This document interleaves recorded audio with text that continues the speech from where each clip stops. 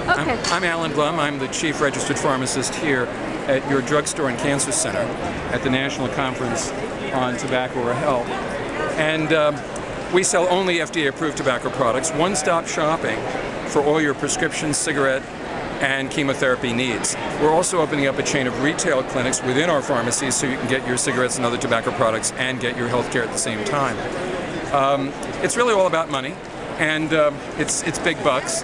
Um, we have uh, the actual contents of a convenience store that I purchased, and we've just decided to construct the pharmacy entirely of cigarette products and their advertisements.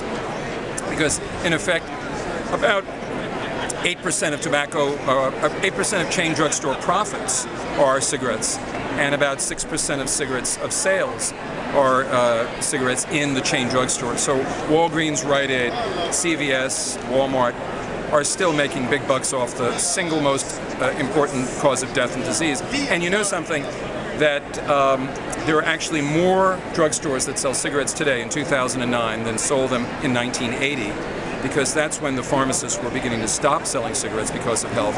But they've been wiped out by the big chains. So I hope you enjoy it. Your prescriptions will be ready in just a minute. And uh, um, we have our registered pharmacists here, Dr. Cummings and Dr. Vidstrin and Dr. Dunnington.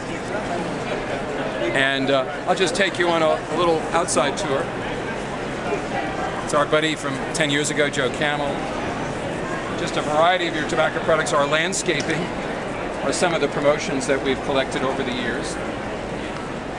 Now that's not litter, is it? Oh, no. Uh, well, it's up to you. If you'd like some, you can have it. And um, the kids that come to our stores, they get to enjoy the, some of the free tobacco products. Uh, buy one, get one free. And um, after all, we're alive with pleasure. So um, we uh,